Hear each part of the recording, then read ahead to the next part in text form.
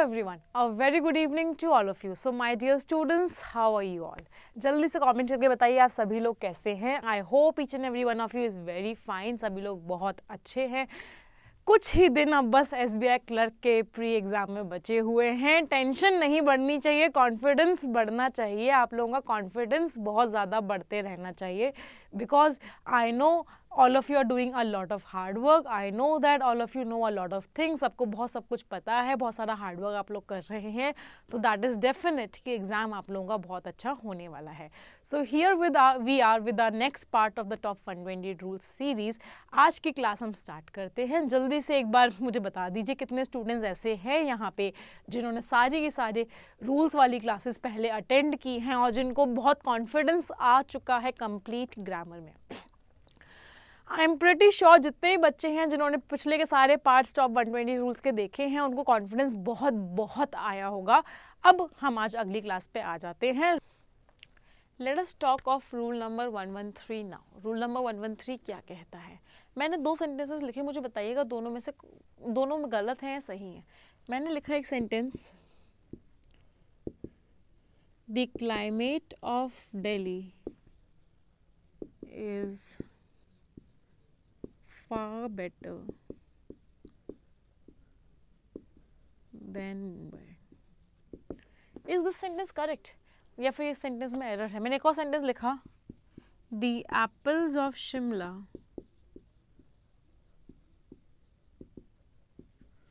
are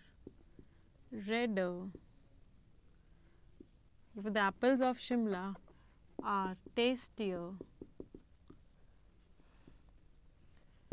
then Ooty क्या ये दोनों के दोनों सेंटेंसेस हमारे सही हैं? आर दे करेक्ट नो दोनों ही दोनों सेंटेंसेस में हमारे एरर्स हैं. Both of the sentences are incorrect दोनों ही सेंटेंसेस हमारे गलत हैं। एक बार देखते हैं कि दोनों के दोनों सेंटेंसेस कैसे गलत हैं।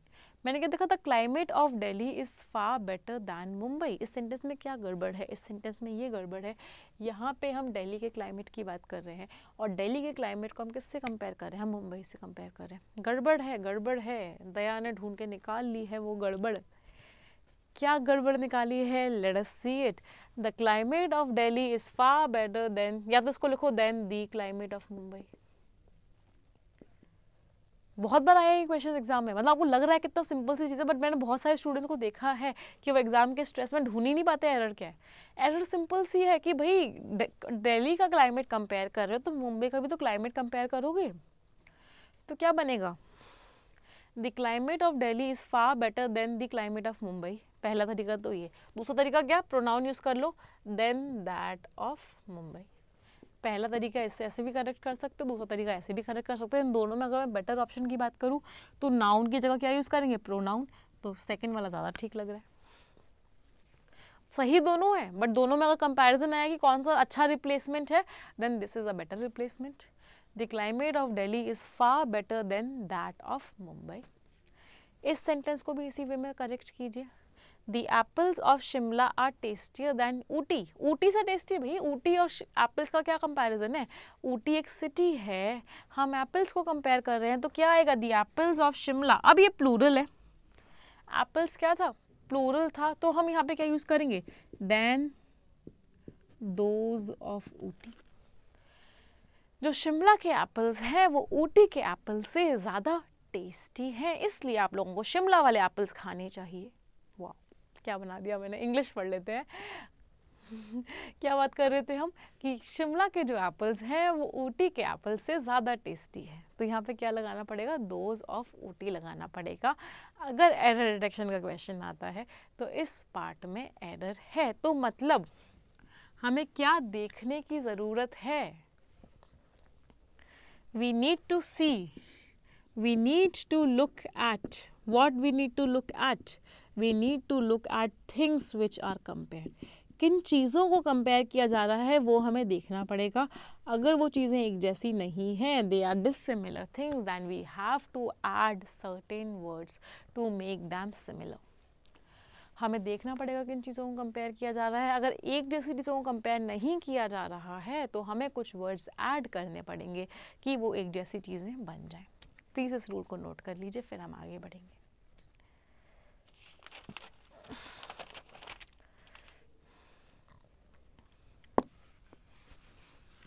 Rule number one one four की अब हम बात करते हैं. Let us talk of rule number one one four now let us see rule number one one four क्या कहता है.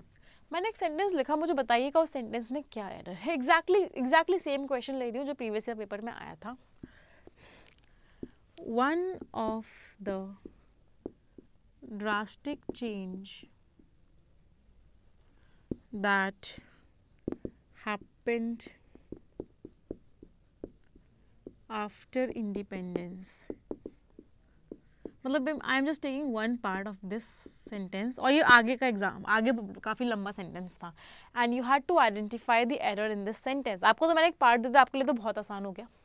आपके लिए तो मैंने बहुत आसान कर दिया. मुझे बताइए इसमें क्या एरर है? One of the drastic change that happened after independence was और आगे सेंटेंस था. इसमें क्या एरर है? What is the error in this sentence please tell me हाँ जी, जल्दी से बताइए क्या एरर है इसमें? इसमें एरर बच्चों यहाँ पर है। One of the drastic change नहीं आएगा। क्या आएगा? One of the drastic changes आएगा। बहुत इंपॉर्टेंट लगने में बहुत छोटी सी बात है, हम सभी को पता है वन ऑफ़ द का मतलब क्या होता है? वन ऑफ़ द का मतलब होता है बहुत सारों में से एक। वन ऑफ़ द का मतलब क्या होता है? वन ऑफ़ द का मतलब होता है बहुत सारों में से एक तो ये तो बहुत सारे होने चाहिए ना। ये बहुत सारे कैसे होंगे? जब ये बहुत सारे ऐसे होंगे, इसको हमें प्लूरल में कन्वर्ट करना पड़ेगा। We will have to convert it to plural form मतलब one of the either of each of इन सभी के आगे जो नाउन आता है, वो हमेशा और हमेशा प्लूरल होता है। You will always have to check it कि कहीं इनके आगे you will always have to check it कि कहीं इनके आगे सिंगुलर नाउन तो नहीं लिखा हुआ। इनके आगे आने वाला जो नाउन होगा, वो हमेशा और हमेशा प्लूरल ही होगा। प्लूरल के अलावा कोई और नाउन आप इनके आगे यूज़ नहीं कर सकते। Okay now let's discuss rule number one one five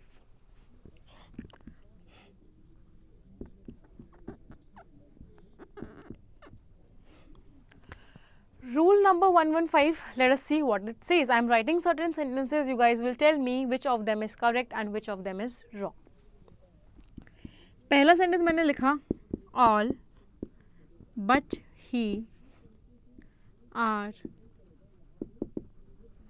going to the party second sentence मैंने लिखा none All except him are going to the party. एक और सेंटेंस मैंने लिखा let he do the work tell me इन तीनों में से कौन सा सेंटेंस सही है और कौन सा सेंटेंस गलत है? जल्दी से बताइए students yes so if I look at it अगर मैं इसको देखूँ this is wrong this is right and this is wrong केवल और केवल सेकेंड सेंटेंस जो है मेरा सही है, बाकी के दोनों के दोनों सेंटेंसेस मेरे गलत हैं। क्यों गलत है? Let us try to understand हमेशा बट हो गया एक्सेप्ट हो गया।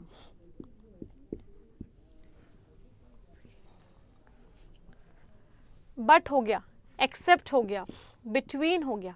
दीज वर्ड्स अगर मैं इन वर्ड्स को देखूँ तो इन इन दोनों सेंटेंसेस बट हो गया एक्सेप्ट हो गया। अगर मैं बिटवीन का एक सेंटेंस लिखूं there is friendship between you and me ये तीनों के तीनों वर्ड्स हमारे किसका रोल प्ले कर रहे हैं? ये तीनों के तीनों वर्ड्स हमारे प्रपोजिशन का रोल प्ले कर रहे हैं। They are playing the role of preposition preposition का रोल प्ले कर रहे हैं और प्रपोजिशन के बाद हमेशा और हमेशा। रिमेंबर दिस बहुत अच्छे से याद कर लीजिए। प्रपोजिशन के बाद हमेशा और हमेशा। ऑब्जेक्टिव फॉर्म ऑफ़ प्रोनाउन आता है। ऑब्जेक्टिव केस ऑफ़ प्रोनाउन आता है। कभी भी सब्जेक्टिव केस नहीं आता। Rule number one one five क्या कह रहा है? कि प्रपोजिशन के बाद अब हमेशा ऑब्जेक्टिव केस लगाओगे। ऑब्जेक्टिव केस का क्या मतलब है? इस चीज़ को हमने पहले भी पढ़ा था। Me him her you us them ये सारे के सारे वर्ड्स ऑब्जेक्टिव केस के होते हैं और ये सारे के सारे वर्ड्स हमारे सब्जेक्टिव केस के होते हैं। तो हमें सब्जेक्टिव केस नहीं लिखना, उसमें हमें कौन सा केस लिखना है? हमें ऑब्जेक्टिव केस लिखना है तो ये ही यहाँ पे गलत है। यहाँ पे मुझे क्या करना पड़ेगा? हिम करना पड़ेगा। ये वाला हिम सही है। अब अगर इस तीसरे सेंटेंस की बात करें let he do the work let तो एक वर्ब है और वर्ब के बाद हमेशा ऑब्जेक्टिव केस आता है। ये चीज़ भी हमने पढ़ी थी कि वर्ब से पहले सब्जेक्टिव केस आता है वर्ब के बाद ऑब्जेक्टिव केस आता है। तो यहाँ पे ही नहीं आएगा, यहाँ पर भी क्या आएगा? यहाँ पर भी हिम आएगा।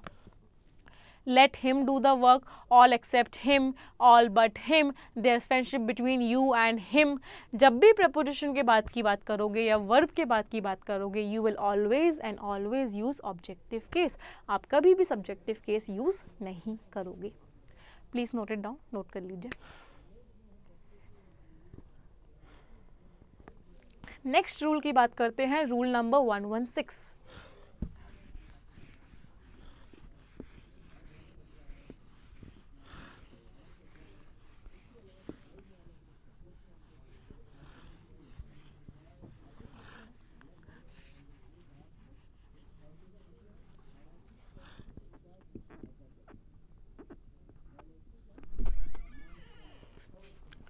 रूल नंबर 116 भी इसी केस से रिलेटेड है सब्जेक्टिव केस और ऑब्जेक्टिव केस यहाँ पे देखो मैंने एक सेंटेंस लिखा। It is him who should be blamed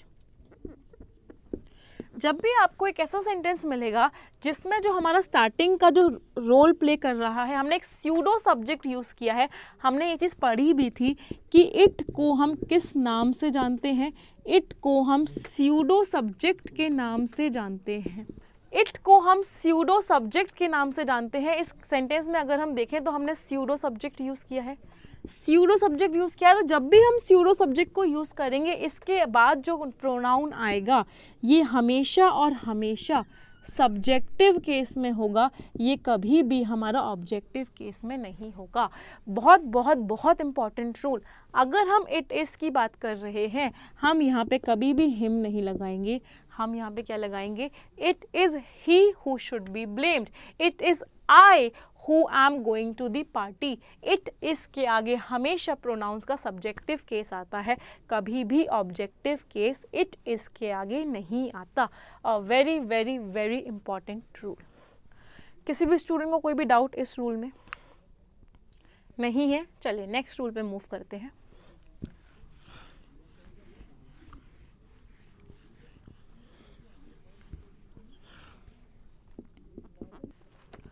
rule number 117 की तरफ़ मूव करते हैं. Let us see what does rule number 117 says rule number 117 कह रहा है कि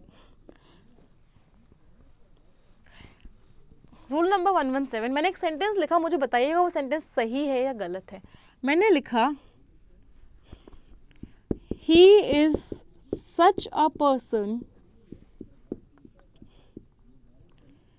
as you mentioned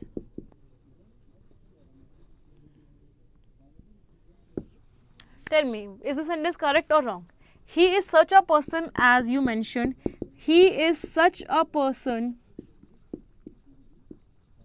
that you mentioned out of these two which sentence is correct in दोनों sentences में से कौन सा sentence correct है can anyone tell me First sentence is correct where is second sentence is wrong very very important rule again हमेशा याद रखना, अगर सच लिखा हुआ है तो जो कनेक्टर यूज़ होगा the connector that you will use will be only and only as such के केस में हम जो कनेक्टर यूज़ करते हैं, वो एज यूज़ करते हैं.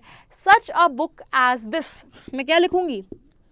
Such a book as this is referred by our teacher हमारे टीचर ने ऐसी किताब रेफर की है।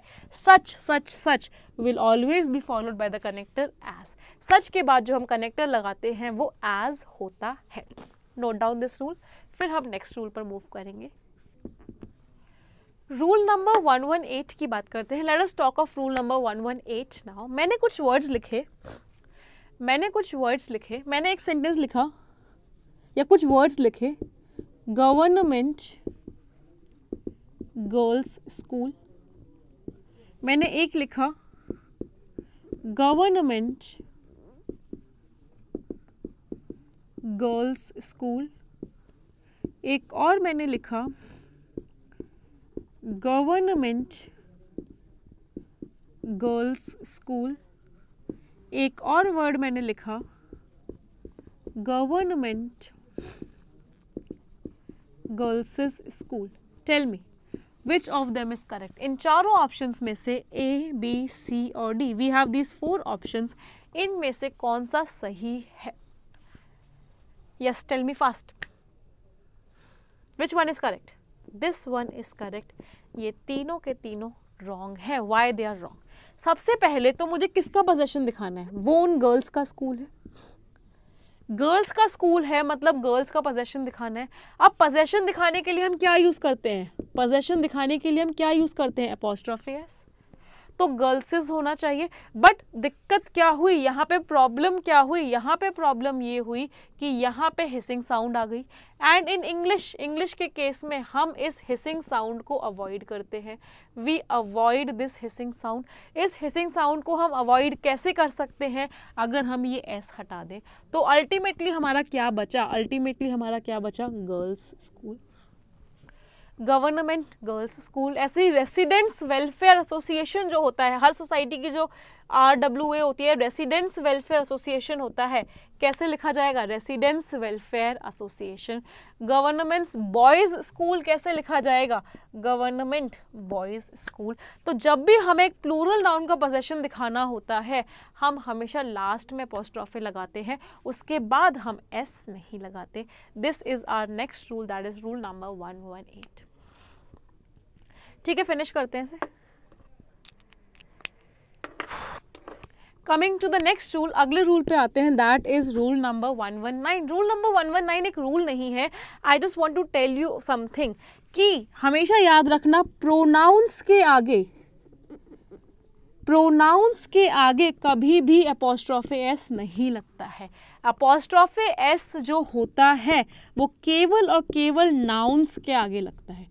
बहुत बार एग्ज़ाम्स में क्वेश्चंस देखे गए हैं, जहाँ पे प्रोनाउंस के आगे भी अपोस्ट्रॉफ एस लगाया हुआ होता है और वही हमारी एरर होती है। उसी पार्ट में हमारी एरर होती है कि प्रोनाउंस के आगे आप कभी भी अपोस्ट्रॉफ एस नहीं लगाओगे। अपोस्ट्रॉफ एस केवल और केवल नाउंस के आगे लगेगा। तो लेटर के लास्ट में जो हम लिखते हैं योर्स फ्रेंडली बहुत सारे बच्चों को मैंने देखा है ये मिस्टेक करते हुए, ये एकदम गलत है। आपको क्या लिखना है वहाँ पे? Yours friendly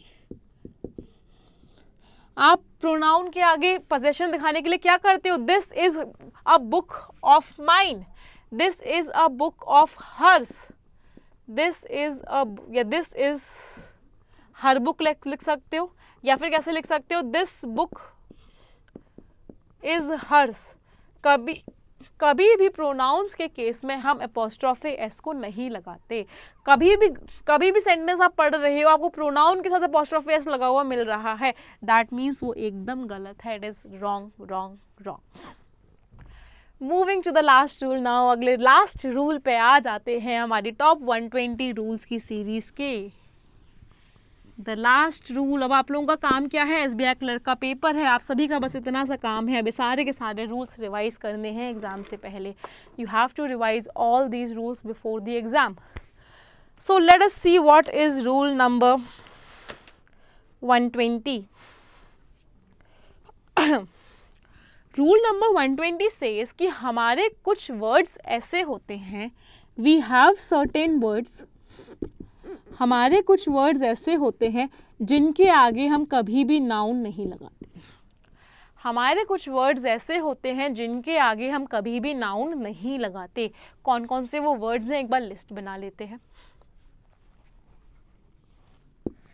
Unable ready glad well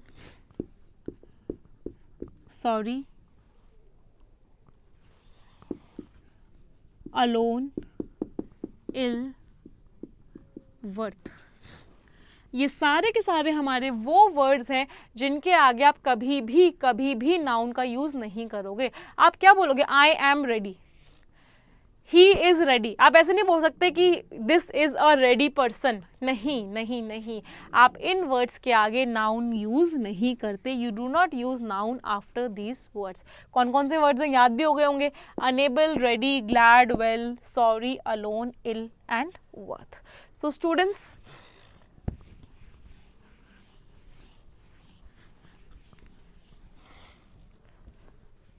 So students, here we complete 120 rules of the top 120 rules series. This series is very very important for you.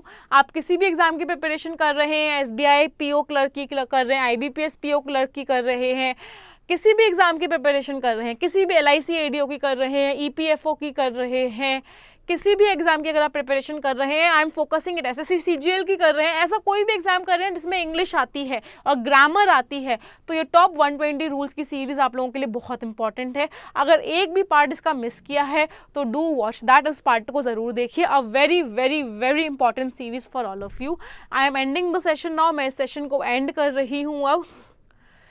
सभी बच्चे मेरे साथ दो सेंटेंसेस बोलेंगे। पहला sentence English is a very easy language दूसरा I am very good at English सभी लोग मिलकर बोलेंगे one two three and go English is a very easy language I am very good at English thank you every